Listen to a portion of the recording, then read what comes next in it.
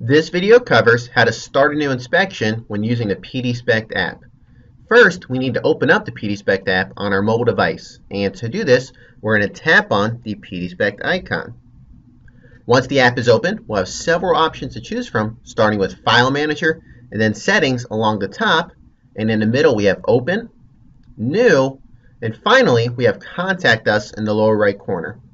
To start a new inspection, we're going to go ahead and we're going to tap on New. This brings up the Choose Template screen.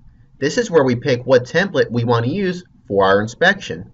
You can pick a template from the local device, which we see listed here, or if we tap on Cloud, you'll see a list of all the templates on your cloud drive, and you can select the template from here as well.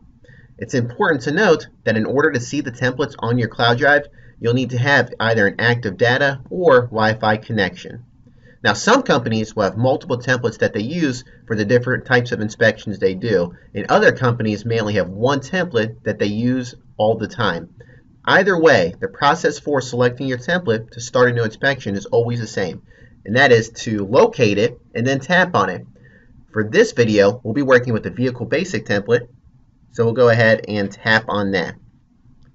The next screen that appears is where we give our file a name. You can name the file whatever you want as long as it has at least three characters.